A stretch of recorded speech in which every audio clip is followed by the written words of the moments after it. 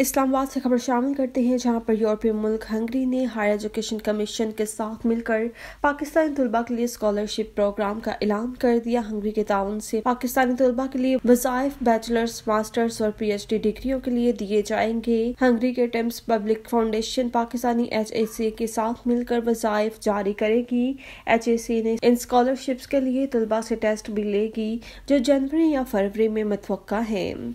एक बार फिर आपको बताते चले की यूरोपीय मुल्क हंगरी ने हायर एजुकेशन कमीशन के साथ मिलकर पाकिस्तानी तलबा के लिए स्कॉलरशिप प्रोग्राम का ऐलान कर दिया। हंगरी के ताउन से पाकिस्तानी तलबा के लिए वजायफ बैचलर्स, मास्टर्स और पीएचडी डिग्रियों के लिए दिए जाएँगे। हंगरी के Tempus public foundation Pakistani H के साथ मिलकर वजायफ जारी करेगी। एच ने इन स्कॉलरशिप के लिए तलबा से टेस्ट भी लेगी, जो जनवरी या फरवरी में मतवक़ा है।